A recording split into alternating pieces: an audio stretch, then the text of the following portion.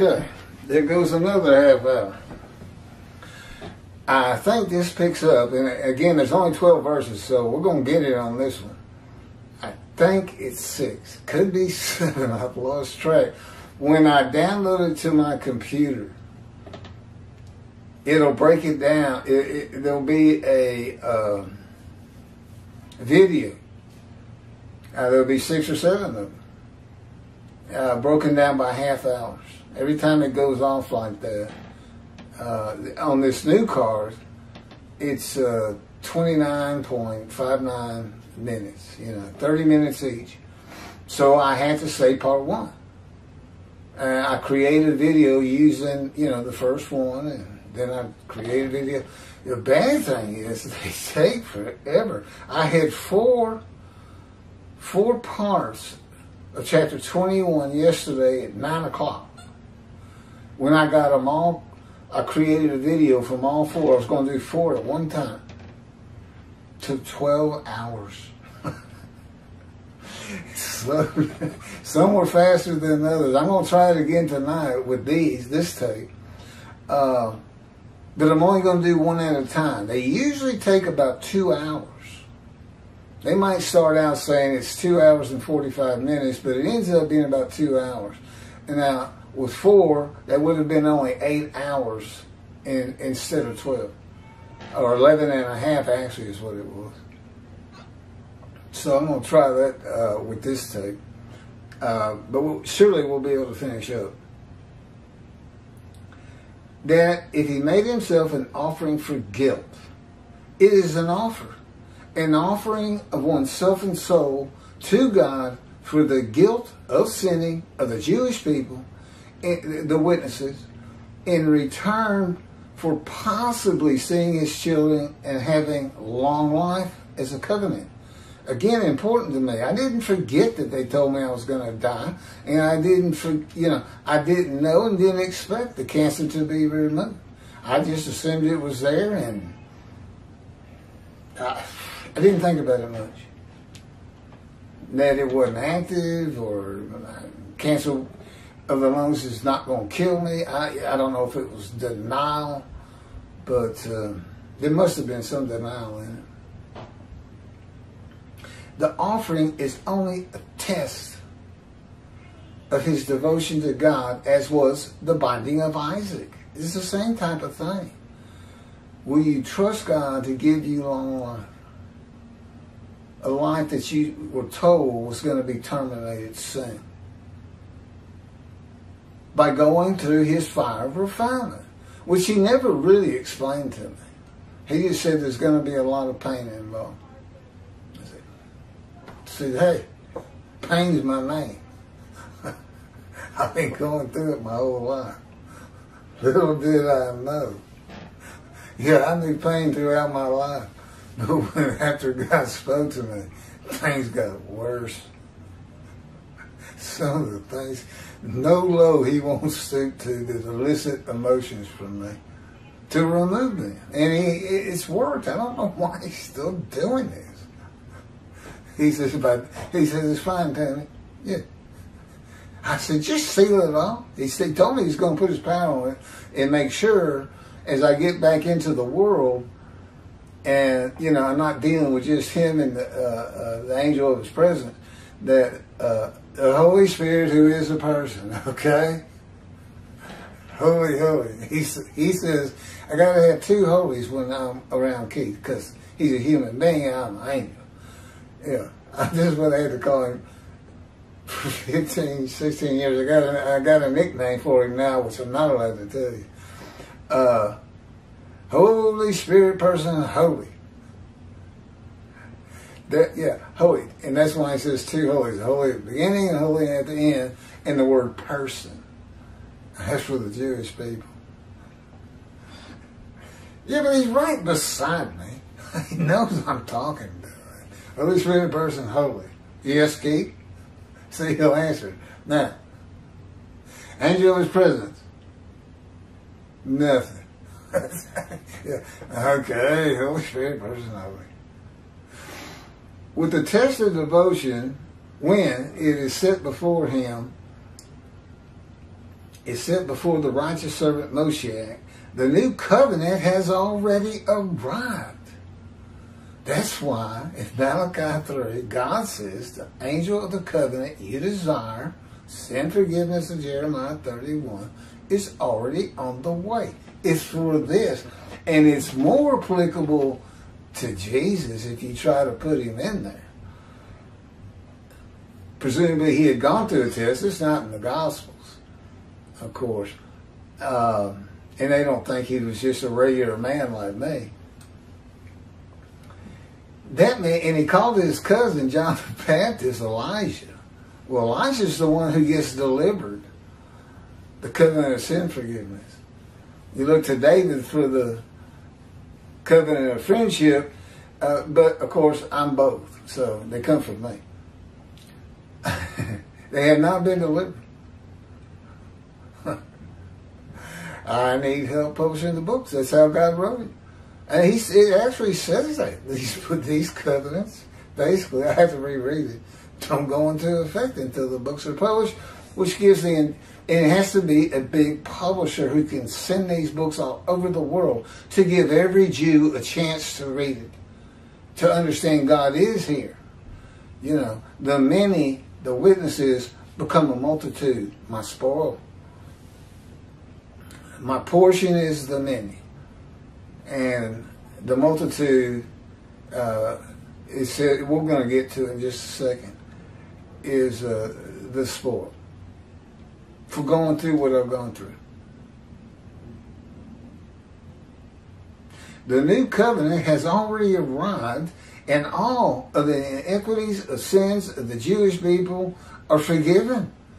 And, and God remembers them no more. The guilt, which is an emotion, is from not following the laws and teachings of God by the Jewish people. God's forgiveness of the sins in and of itself removes the guilt if they believe, if they listen to the teacher. It's here. This is real. Get your Bible. Turn to Jeremiah 31. Let me show you to Let me show you exactly what I'm doing on this tape. You know, this is on 52. This is on the description of the righteous servant. And of course, that's me. Uh, definitely matched 5310. Christopher's disease, he did give me long life. And again, the covenant, making any righteous. Well, everybody's going to be righteous for a day or two.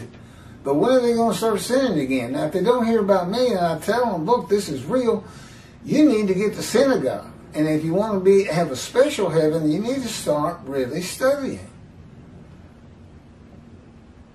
It's a great plan by God. No, it's no millennial era that a man made up, Mr. Rambam.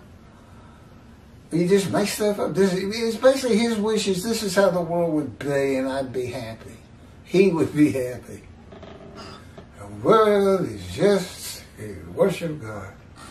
The entirety of the world. Everybody else will disavow their gods and come worship the God of Israel. There shall be no pain. The world shall be at peace. Typical religious person, right? I mean, leader. And I'm passing the, the basket around right now for donations, food, money, whatever you got. And it sounds wonderful, y'all. Oh, the world loving us. I can sleep in the house that I built. Nobody's going to throw me out. I can eat the crops that I grow. That's actually in the Hebrew Bible. And I got it in here somewhere. God talks about that. That was heaven for them. That was their messianic era.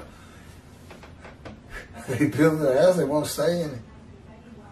People come take it. This was antiquity. Grow your food, they come and take that too. Hey, look, he's got food. Let's go get it. Let's go get it. It's like some old Western movie or something. The test of devotion is revealed here with Jeremiah 31, providing when God is coming with the new covenant, the time to come. The land blooms again, ruined cities restored, Jerusalem rebuilt.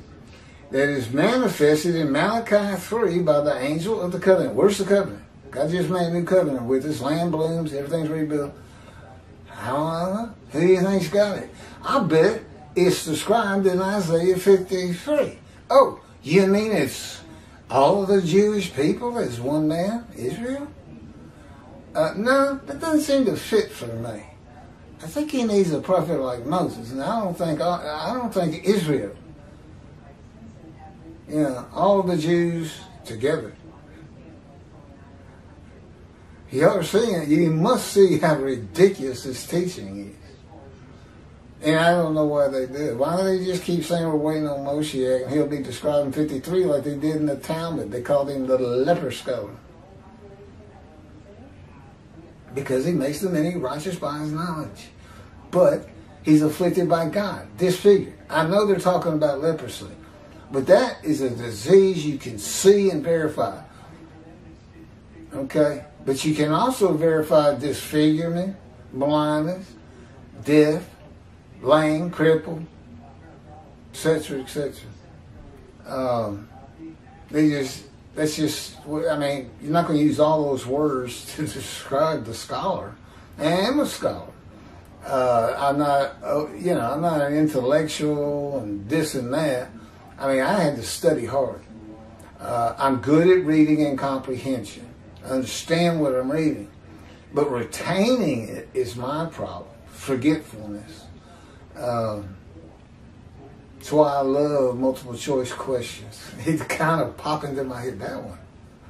I love it. That's what college is these days. There's essays still, but mostly multiple choice. And well, you can rule two of them out almost immediately. So now you're down to two. You got a 50-50 shot.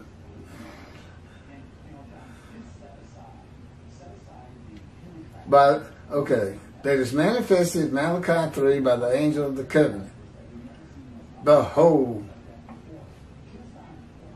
I am sending my messenger to clear the way before me. Because God speaking, the messenger is Elijah. He's the messenger of the covenant. The covenant. Remember, he can talk to the angel. And the Lord whom you seek shall come to his temple suddenly as for the angel of the covenant that you desire, he is already on his way. He's already coming. We were laughing about this last night. You know, God's within me. He's without me too. Okay, he fills this room. As does uh, the angel of his presence, the Holy Spirit. If I'm in a room and I'm going to give a speech, and it's filled with people, okay, including the witnesses or you or anybody watching this.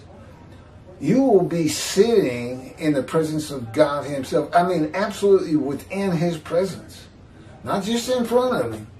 His presence is going to surround your body, head to toe. The difference with me, oh, when God says that's a Shekinah, I, I, don't think anybody's ever really known for sure what the Shekinah is, although it appears in the Hebrew Bible when God enters, I believe, is it the first temple or second temple? I'm not sure either. Uh, on the east side, from the east gate. they could apparently see it. I don't know. It would have looked like a cloud, if anything. Um, it flows through me. It doesn't surround me. I become part of the Shekinah. It flows through me. My my my spirit is blended with the spirit and God's and God's presence. That's how special. This is what He's done for. And of course, you, you, you know, nobody knew this. Nobody knew that every prophet. If you talk to God, you're experiencing everything I'm going with. This is all new. And I even heard some people say, well, no, is going to come up and he's going to open up the Torah to us. Well, that can't be done. They've nitpicked that thing to death. But I'm opening the book of the prophets to. Everybody. If they're writing, if they're conversing with God to write His words or write His words as though He's saying them to the Jewish people, they're man divine beings, which, as I have said from the book of Joshua, the captain of the Lord's host, who is a Gentile and a harbinger of myself, a righteous servant Moshiach, uh, he's asked by Joshua, uh, are you one of us, Israelite, or are you of the enemy? And he says, No, I am captain of the Lord's host. Now I have come. That's why he's a harbinger. I guess omen might even be it. Of but because we never see him again. Now I've come. And you, you can't find him again. He's gone. Who'd you come for? You know. But anyway, in those three verses, you can identify. And I've already read through it. In other videos, and of course, it's in the book. But you know that the captain is a man of divine beings, and he's captain uh, who is a host of the Lord's host. So a man of divine beings is a host. And I've gone over that too. There are only two covenants. Okay. Following God's testimony, behold, I'm sending my messenger. One God, in brackets, of Israel. One angel of his presence in the new covenant and one man, the messenger of the new covenant. This is God's words. A man in divine beings, a host of the Lord's host. That's God's words. There are only two covenants that have not been delivered. The new covenant for a time to come in Jeremiah with sin forgiveness, and the covenant of friendship. The covenant of friendship basically comes with the shepherd, servant, and anointed one of God whom he calls David the angel of the covenant must be the angel of the new covenant. The phrase, he is already coming, he's already on his way, means he arrives before God who comes to covenant with a Gentile, that's me, before he returns to his temple. He must have visible representation to speak and write his words as Moses did to have his temple rebuilt for his return of the Lord. Oh, and he says, I will return suddenly. He knows it's not here. Because covenant friendship says, I will place my temple amongst you. And of course, he has to get me ready. It's just the way it reads. Uh, but I told him, I said, well, you're within me. Where you are, where I am, you are. You know, uh, what we'll do for the suddenly, have a microphone on the third temple, talking to the great crowd who will gather to see God enter it, Because they'll see me and they say, okay, God's inside this guy. Where he goes, God goes. Every, 24-7, every second of the month, a day, every day. And until I die, he says. I told him, I said, well, why don't I run into the temple instead of just walking in? He just laughed. I said, I think it's a good idea. I could read it. It said, and God says, I will return to my temple suddenly. Well, he's within me, audience, or something like that. God says, I can make it a lot better than that. And then turn around and just run in, suddenly. I don't know why he put suddenly in there. He just said, return to my temple. He had his reason. No, it was, it was for this video and making y'all laugh. He could be. Remember, one, two, three purposes. And he knows everything. God has to speak to the man to tell him that he he had to teach me all this. That he it was he that afflicted him with disease and crushed his life and took his right breast and withered his arm. It must be a life-threatening disease, for God tells him that he might receive long life after choosing to crush him with the disease. And in verse 12, he is exposed to death. God also has to prepare him to be a prophet. That would be me. As he did Ezekiel. In the fire refinement in the hand of God by his words and power while teaching him the scripture to make the many righteous by his knowledge and remove their guilt. God is not asking the man to give up his life as a sacrifice. That would be against his teachings to the Israelites through his prophet, not to sacrifice their children. And the purpose of the man offering himself for guilt is to receive long life, not be sacrificed. How, how do Christians read this and, and, and convince themselves Jesus is 53? It's, it's, it's amazing. It, it boggles my mind. I'm like, who are these religious people? Remember, I was an atheist for 50 years. Didn't have anything to do with it. And knew nothing about it and didn't want to. I'm just, I can't believe this. You know, I read these writings and I said, how, how come people don't get it? I've had 150,000 views of these writings, one or another, if not all by some. 150,000. I've got, in this month, I've got 900 people who have come back to my channel to read more. I, I watch more. I, will learn. You know, it's going to take a little time. Bear with me. I, know, I became a lawyer. That, believe me, nobody believe you're a lawyer. You, Keith. Didn't you fail high school? Didn't you get kicked out of high school or fail or something? Nobody thought I had any intelligence whatsoever. I found out if I try and I study hard, I can pass the test. I'm good enough. But I'm not I'm not some brilliant person figuring out all these things that no sage or rabbi has ever had a clue of. Okay. So this Gentile atheist of 50 years suddenly becomes the smartest rabbi and sage and theologian of the Jewish people of all time. Now, is that possible, people? You know he's talking to me. you know it. Because it's not possible. Even I know that. I failed ninth grade. I couldn't get into the University of Texas A&M that my dad had gone to. I had to take four courses in the summer between high school and the start of the fall semester at Texas A&M and pass them with basically B and, and no F's. I did get one D, but all my B's made up for it. That D was so close to being an F. Calculus. Not yeah, it's not my strong suit. Math, chemistry, astronomy, anything. I'm just good at comprehending what I read and say. That's all I need. God will take care of the rest.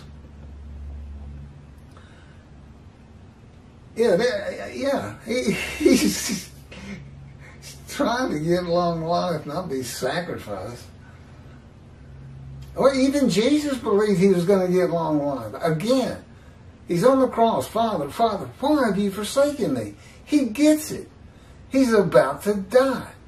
He's about to release his ghost, as he says it, to God. He's about to give up.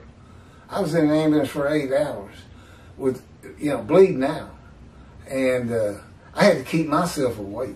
There was attendants back there. I didn't stop talking to them uh, I, I, was just getting too weak. I, just knew if I fell asleep, that was it. I wasn't coming back. You know, I tried. Here he is. And I released my ghost to. Father, Father, why are you forsaking me? Because he knows now he's going to die. He knows he's not the man of 53. Because he's exposed to death and gets long life. Somebody will say, well, it says mine.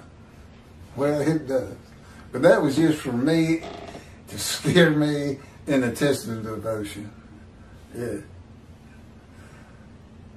The reality is, there is no guilt of sin for the man to bear. There shouldn't be. Because all sin's been forgiven when I'm here, when my books are published. The new covenant with sin forgiveness of all the Jewish people on earth has arrived before the offering is made. It had arrived, but I still haven't given it up. And no, well, John the Baptist is his cousin. And I told you, he says John the Baptist is Elijah. He quotes that same verse from God, except he leaves out the angel of the covenant. He just has in there, I send my messenger before me, and I will return to my temple. Well, God's in his temple at the time, people. Okay? He doesn't have to return to anything. None of it makes sense. The whole story of Jesus is a myth. It's just story. And there's different versions of it. They just didn't get canonized. Wrath upon them. You see how they, if you tell them who I am and they come to listen to me, I'm just going to leave with burning ears.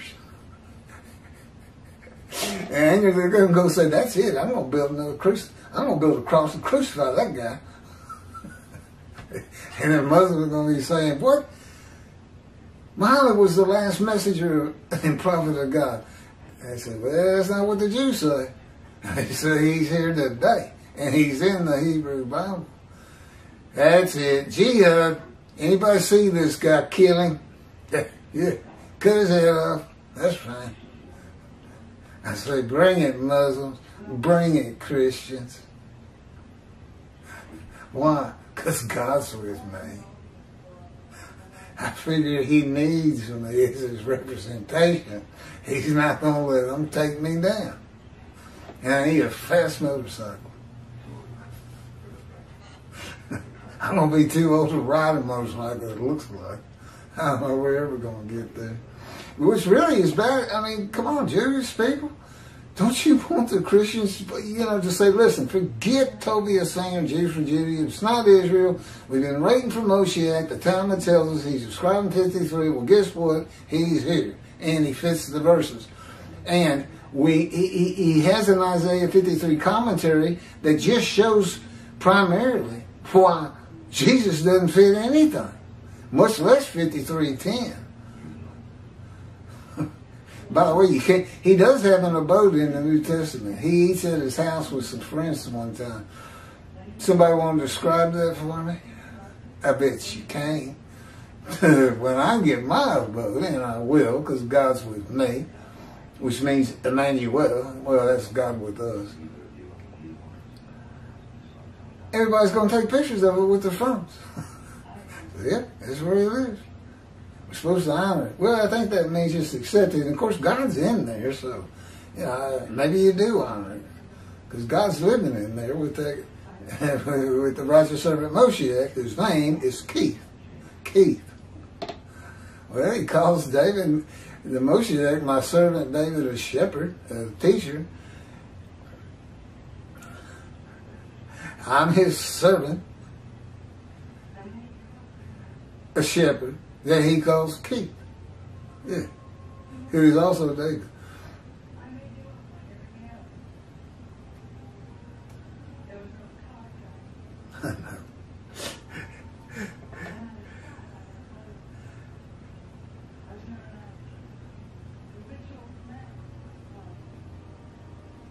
Hold on, I'm trying to cut some stuff out. We talked about this last night, Uh, all this has been covered, is what it is. The primary purpose of verse 10 is not for the test of devotion. It is to make certain that the animal sacrificial atonement worship laws of the Torah cannot be used for the man described. That's why he crushed me with disease. I became blemished. The man described is blemished. He's crushed with disease. He's given an illness that exposes him to death, depending on how you translate. Yeah. Afflicted by God, disfigured. Can't use that animal. It's not, yeah. And Jesus is known as, as being perfect. Perfectly good looking, perfect in body, never ill. Had one day of pain. One day. I had a day and a half. There was a bullet hole through my and I, I didn't give up the ghost. This is one day. Have you seen the list of my accidents? And that's not everything. I got 20 surgical scars. And some of them are real minor. I even stitched up one myself one time with the help of a doctor. Well, he put an Novocaine into it. I just wanted to do it. But, um, It's the only reason God would crush a man with disease, to make him be his servant. You cannot offer an animal with defect. Jesus can't be 53. An animal that is blemished. So God blemishes the man. Now, no man would refuse God, and God does not need a man's permission to make him a servant. He is God. In the book of uh, uh, Ezekiel, God just sees him put him into the, he just started tearing him up, pinning him to the ground. So, so,